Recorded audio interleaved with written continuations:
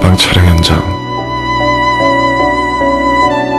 난 이제 윤수가 되어 유정을 만난다. 우린 첫날부터 대판 싸우게 된다.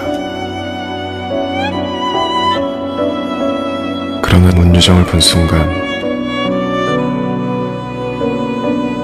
난 복받쳐 오르는 감정을 억누를 수가 없었다.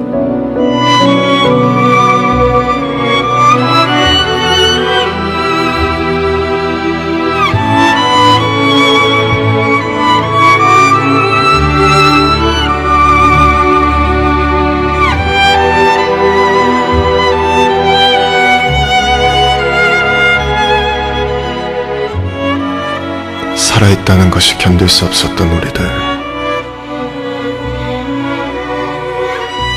이렇게 만난 우리가 너무 슬프다.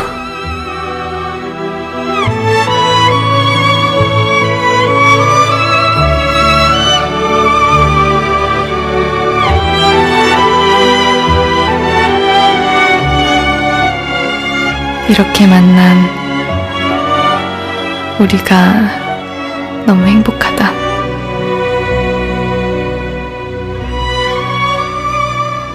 일주일에 3시간, 목요일 10시부터 1시까지 우리들의 행복한 시간.